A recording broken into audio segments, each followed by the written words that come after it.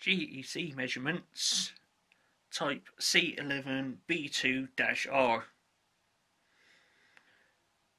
The characteristics for this one are single phase 2 wire, 50 Hz, it's 240 volts.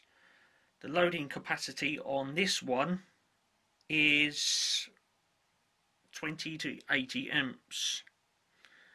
The load wheel uh, characteristic for this one is 200 revs per kilowatt hour.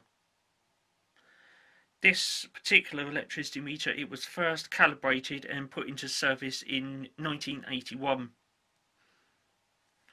This one is a dual tariff electricity meter as indicated by the two readouts which we'll, be having a look at in a moment or two.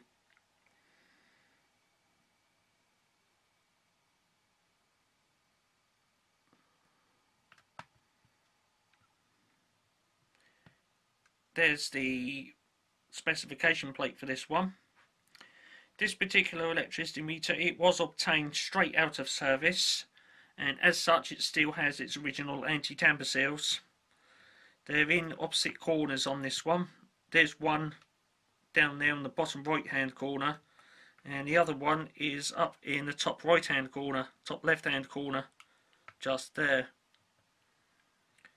This one is, is dual tariff electricity meter, so as such it has two readouts on it. The bottom one which registers normal units is 17,820 and the zero has just gone past there. And the upper readout which low registers the low units or the off-peak units uh, the readout for that one is 71,081 and the point 2 has just gone past and the point 3 is coming up there in the red box. There are other variants of this electricity meter. The earlier variant was made by English Electric and the later variant was made by ABB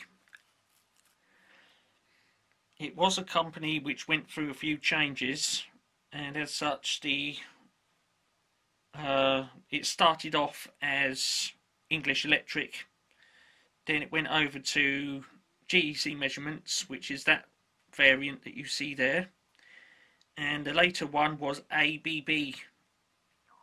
Over the years of changing changing hands, the specification plate layout did change a little bit from time to time.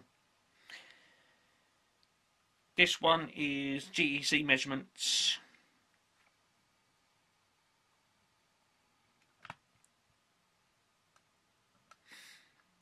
A little bit later on in another video I'll maybe power this one up and we should be able to watch the load wheel go around in there and we should be able to watch it register up a load on readout there. I'd like to say thanks for tuning in to watch this one and there will be more electricity meters later on. So thanks for watching this one.